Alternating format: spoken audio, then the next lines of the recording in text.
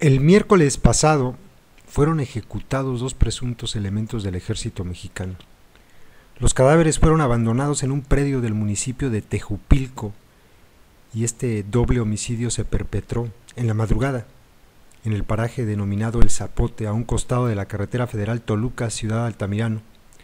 Los cuerpos fueron identificados como Héctor H., Guillermo N., de 25 y 21 años respectivamente, adscritos al 102 Batallón de Infantería de la Secretaría de la Defensa Nacional. Fueron tratados con saña, los torturaron.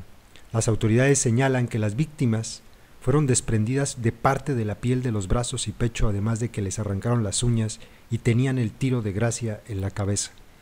Uno de los cadáveres no tenía la camisa puesta y aparentemente esa prenda color café fue cortada y usada para amordazarlo y maniatarlo.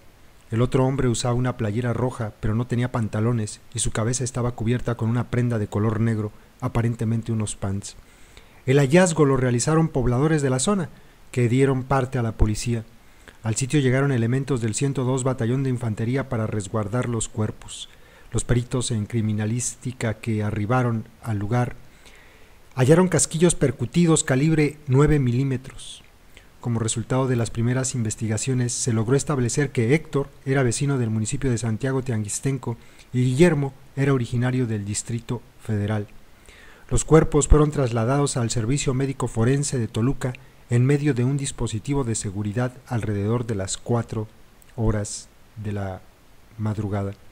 Más tarde autoridades de la PGJ del Estado de México integraron la investigación por delito de homicidio.